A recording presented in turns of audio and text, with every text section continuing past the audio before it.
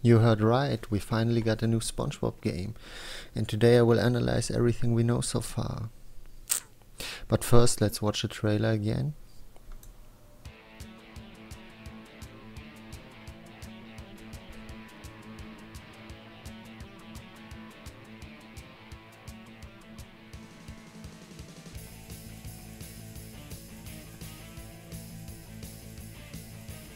The winner takes all. It's the thrill of one more kill, the last one to fall. We'll never sacrifice their will. Don't ever look back on the world closing in. Beyond the only attack, the wings in your wind. All the games will begin. And it's sweet, sweet, sweet victory, yeah. On the one who's last to fall.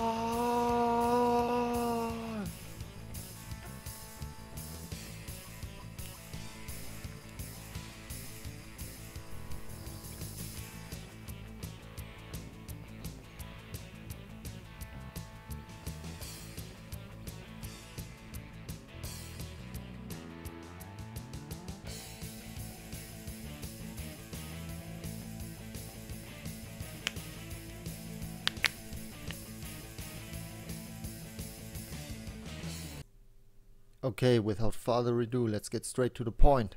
History.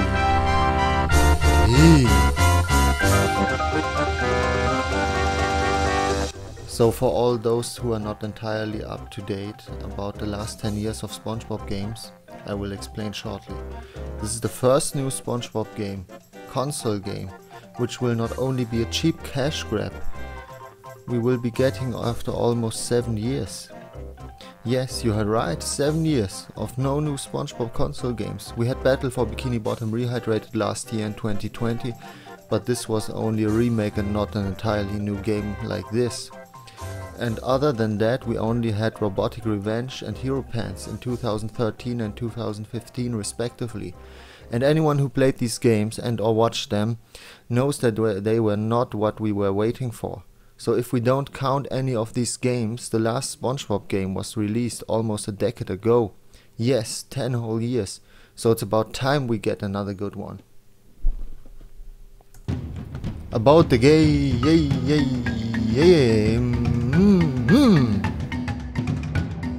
So, the game was just announced yesterday on the 17th of September, and we don't have too much information about it at this point so I'll just tell you shortly what we know so far. There isn't a release date for this game until now, so we have no idea when it will release. The end of this year or next year? I personally don't think it will release before 2021, though. Because Rehydrated took a long time to get released after it was announced. But really, but we really don't know, so I'm not gonna speculate too much on that. Wait, I just saw that the Steam page says coming soon, so it might not take too long until it gets released after all. But let's get to the next point. We haven't seen any gameplay until now, so we really don't know anything about how it will be played, other than that it is a 3D platformer and probably will be played similarly to BFBB and BFBB Rehydrated, or the movie or any of these games. Speaking about BFBB, I think we can say quite surely that this is not a real sequel to BFBB like some people thought, from the looks of the trailer, but a complete new game. The only thing I could imagine is that BFBB's story is shortly referenced in the introduction of this game, and then we will right away get into the new story.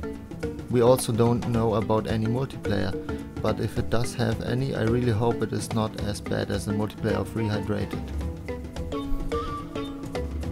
The game is developed by Purple Lamp Studios and published by THQ Nordic just like Rehydrated. So hopefully they can use the experience they got from developing Rehydrated and not repeat the same mistakes.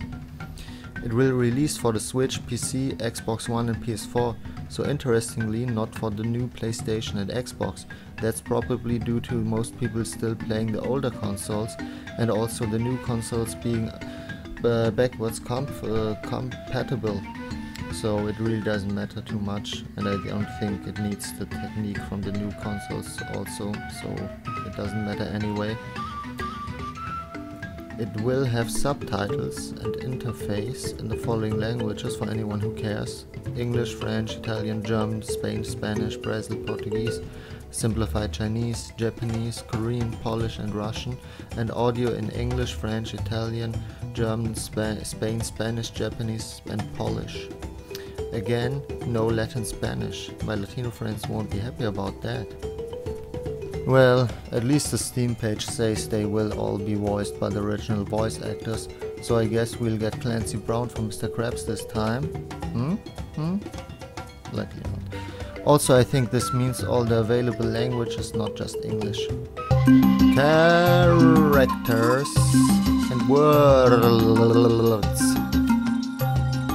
So, let's take a look at all the characters which are confirmed from the trailer and other information we have to appear in this game. Okay, so first let's take a look at the trailer. In the trailer we can see Plankton, SpongeBob, Patrick as a small balloon, which will be called Balloon Patrick, some kind of purple monsters, which will probably the, probably be the enemies of this game, Sandy, Squidward, the Flying Dutchman, Mrs. Puff, and Mr. Krabs. Okay, let's take a look at the box art and there we can see that there's also Pearl and Larry. And in the description of the story we also find the name Cassandra, which seems to be the main villain of the game and is an entirely new character since we never heard that name before in the show. The only one of the mentioned characters that we know will be playable for now is SpongeBob. Patrick seems to be a supporting character of SpongeBob, like Cappy for Mario in Super Mario Odyssey or Midna for Link in Twilight Princess. So I don't think that there's a big chance that Patrick will be actually playable in his normal form. I do think though that SpongeBob won't be the only playable character. Why you ask? Because the Steam description talks about its up to our heroes. So I think that the likes of Sandy will be playable too. Also, the box art shows Pearl, Larry, Mr. Krabs and Miss Puff in different costumes. Why would they wear different costumes? What's especially curious is that Pearl wears the same kind of costume that SpongeBob wears. So either you can also play these characters with the same costumes that SpongeBob has, or Pearl for example wears the caveman costume because she will be an NPC in the, in the prehistoric world. But enough of guessing around. Let's get to the worlds. This game will have 7 different worlds, so considerably less than BFBB. I do think that the main bosses will not have separate levels for them this time though.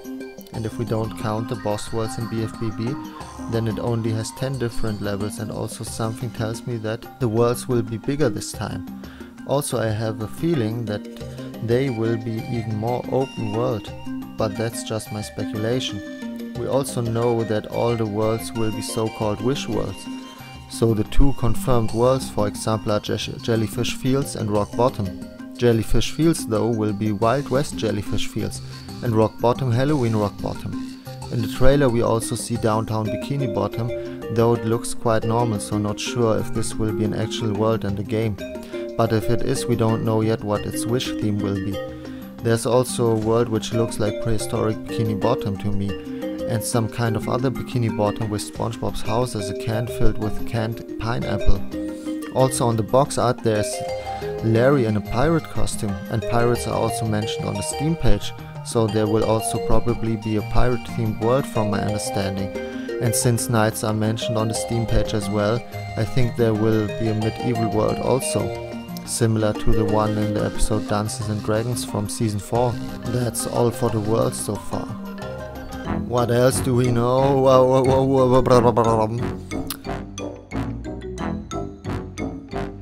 We know the main story, which I will just read from the description of it on the Steam page. SpongeBob and Patrick meet the mysterious fortune teller Cassandra, who gives them a vial full of mermaid tears. Legend claims they grant the wishes of those who are pure of heart. Naturally, the best two buddies get overexcited, and their flurry of wishes tears open the very fabric of space and time. All while releasing cosmic jelly onto Bikini Bottom and opening portals to strange wish worlds in the process. Now it's up to our heroes to rescue their friends who got lost in the wish worlds and bring back Bikini Bottom's most iconic buildings. But Cassandra has her own devious plan. I think most of this is quite self-explanatory. I only got a few things to add and that is that Patrick is most likely in his normal form in the beginning of the game, but gets transformed to a small balloon version and stays like that for the rest of the game. The cosmic jelly seems to be the stuff that the monsters we saw in the trailer are made of. It also says in the description that you will have to bring back Bikini Bottom's most iconic buildings and your friends, so probably the side characters and some buildings will be sucked into the portals to these wish worlds. Other than that, we don't know anything more about the story of this game so far. Let's shortly mention that the game will feature 101 songs from the series itself, one of them being Sweet Victory just like in the trailer, as it is mentioned on the Steam page. I hope that doesn't mean that this game will not have any original soundtrack because I personally find this quite lame. I know many of you might like this, but I don't like to have something but I like to have something original and new not something which is reused and I have heard thousands of times already, even though the SpongeBob soundtrack is top notch. And also for me as a YouTuber this will make huge problems because of copyright. To be honest, that's the biggest reason for me that I don't like this idea. But since it says songs, they might be really talking about songs, so actually sing songs from the show and not about the show soundtrack. And I think that's the case. I can't imagine that they will only play synced songs in the background of this game, since that would be really weird. So there might be some kind of original soundtrack as well after all. Let's just hope for me that there will that there will be a solution to the copyright problem with this. I actually had to sing the Sweet Victory song myself for this video in the beginning of the in the beginning of this video because of copyright. And my reaction video from yesterday already got copyright claimed because of the songs played in the trailer. Let's get to the last topic I want to talk about in this video and that is the costumes. The costumes seem to be a big deal in this game, since they mentioned that there will be over 30 different costumes in the game. First, let's count all costumes we have seen so far. So first of all in the trailer we can see Band SpongeBob, SpongeBob in his karate gear, Sandy in her karate suit, Squidward in a costume that I don't know what it's supposed to be exactly, Caveman SpongeBob, SpongeBob as a snail, Western SpongeBob riding a seahorse, possibly Mystery, since we see the same hair he has when he's riding Mystery in the show in his imagination after he throws away his cowboy hat. There's also Mrs. Puff in a western costume and SpongeBob as a knight. There is a medieval knight that is all we see in the trailer. On the box art we also see Mrs. Puff dressed as a marshmallow and Larry as a pirate, Sandy in her karate suit again, Pearl in the caveman style we already saw for SpongeBob in the trailer, and Mr. Krabs in some kind of sale in some kind of salesman costume. Since pirates are mentioned in the Steam description and Larry wears a pirate outfit on the cover, I'm sure the pirate costume is also one of the mentioned ones of the mentioned 30 ones. This line in the Steam description is also interesting to note. Unlike classic and new platforming skills, like the fishhook swing and karate kick. From this I conclude that every costume has its special ability and is not just for aesthetics. So for example the fishhook being the ability of the pirate costume and the karate kick being the ability of the karate costume. To be honest, I have the feeling that this game will be a little bit similar to Super Mario Odyssey, having big open worlds. In Odyssey you also have costumes which don't have abilities, but you also have capturable objects which give you special abilities. I don't think we will be able to capture objects in this game, or maybe we will. But I think the costumes itself will have special abilities. Nice. That's about all of my thoughts about this game and everything I discovered. Let me know if I missed anything and also if you like me doing videos like this. Subscribe, watch my other videos and support me in any way possible.